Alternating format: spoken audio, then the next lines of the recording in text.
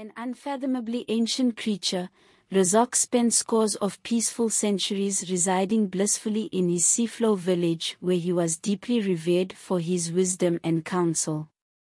While those of his kind are able to hold their breath for hours in the open air, life was idyllic enough to remain incessantly beneath the waves.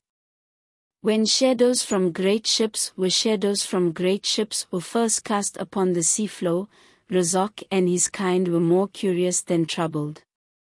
What barbarism could have possibly come from the land dwellers exploring the beauty of Tyre's open water?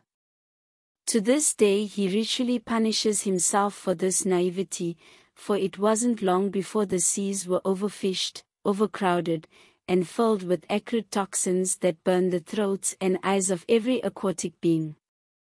When Razaak and his kind attempted to rebel against the defilement of their home, a whaling ship sent an explosive substance to the seafloor, capable of detonating underwater.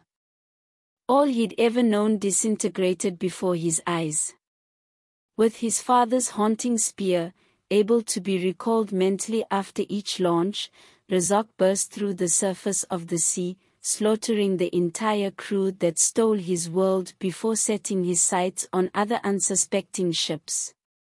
Word of his brutality reached the infamous Captain Reve, who recruited Razaak after promising him as many souls as his spear could claim.